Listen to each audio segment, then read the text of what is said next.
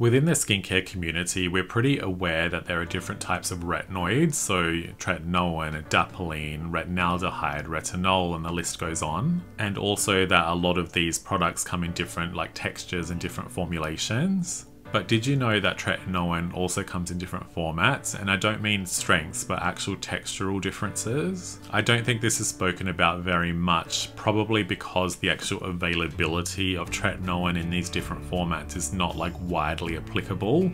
I feel like the US has a lot of options, Australia is a bit more limited. I'm not even sure about like the UK, Europe, Asia, and all the other countries. I just wish this was maybe spoken about a little bit more just from like an awareness perspective so that people could at least like have the conversation with their doctors to see if they had options available.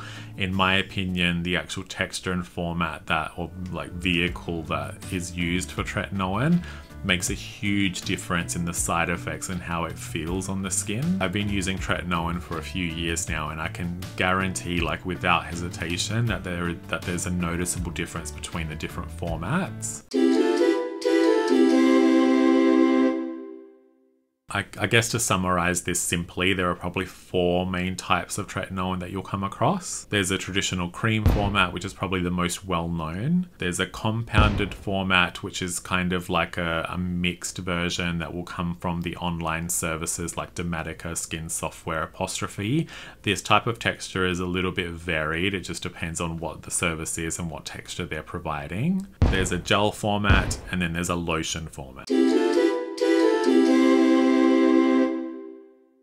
I'll actually start by discussing the compounded format. And as I mentioned, this is usually available through those online services or if you're maybe going to a compounding pharmacy. It's basically where a selection of ingredients are kind of mixed fresh and this is often done in a pre-designated cream base or some sort of cream gel base. I only have personal experience with a couple of these services, the main one being Skin Software, and that was delivered in like a pump bottle in just a standard kind of cream texture. The main thing to note is these products often have a very short expiry date, so you have to use them relatively quickly, and that that pricing can start to add up. I think it was costing me like $88 every two months, but I just wasn't getting through that level of product that quickly. So not only did I have a lot of waste, I was just throwing out tretinoin and then having to pay $88 constantly for product that I wasn't using. And in my experience, this version of tretinoin in a compounded cream was by far the most aggressive and it just caused side effects that I really wasn't able to deal with, so I stopped using Tret. The next category is a traditional cream format. I'll throw up some of the options on screen. These actually come from pharmaceutical companies and are tested in their formula, in their delivery and stability. And the expiry is usually a long way off the point of purchase. I think I've had some tubes with like two year expiry on them. The texture of this is a little bit more like a gel cream. It's not particularly moisturizing after you apply it, you sort of just throw it on and it's there. I also found the cream version to be quite strong and more difficult to tolerate.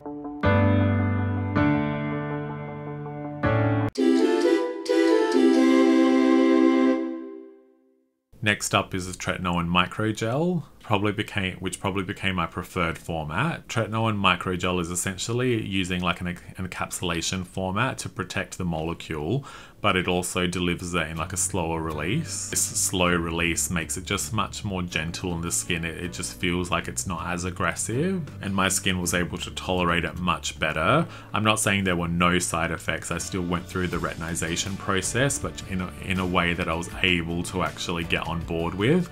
So using hydrating essences and moisturizers was enough to kind of keep my skin in check without entirely falling off. Using the gel, I just never got to the point where my skin was like red and raw, and it definitely felt like that at times when I was using the compounded cream version. Plus, from like a sensorial perspective, the gel just has a very lightweight texture. It, it just absorbs instantly. It's very pleasant to use. You almost don't even realize it's on your skin. If you have access to a microgel, I highly, highly, highly recommend it.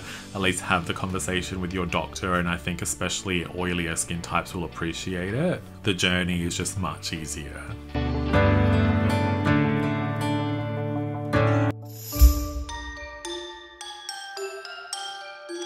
I have seen some sort of articles online that suggest the microgel is usually recommended to oily, oilier skin types in the cream format for dry. I just don't think the cream format is actually moisturizing enough where dry skin types would even really notice a difference. From memory, the microgel formats do contain alcohol, so potentially people experience that as a drying effect, but that's such like a fleeting sensation that I just don't think it will matter. Now, the last one I want to talk about is a tretinoin lotion that I kind of, in my mind, consider a tretinoin serum. This is a particular brand name called Altreno. This uses micronized tretinoin as well, but it's been blended with additional hydrating and kind of barrier support ingredients. And that's why I think of it like a serum. They've added glycerin and collagen and hyaluronic acid. So it's this all in one product that just entirely changes the experience of using tretinoin. It's like they've taken the principles of a hydrating barrier support serum and then sprinkled in the tret. So it's like it's landing on your skin just so pleasantly. I can't, I just love it. I haven't been using this very long. I just recently switched to Altreno from the microgel but just from like a textural perspective the way my skin has been reacting with it i've been able to increase usage in my days with really no downside. So i've loved incorporating it so much and i wish i had this at the start of my tret journey. The texture ultimately does just feel like a tretinoin micro gel it's just a little bit more fluid a little bit more runny. But otherwise if you've used a tret gel it's going to be very it's very much a similar experience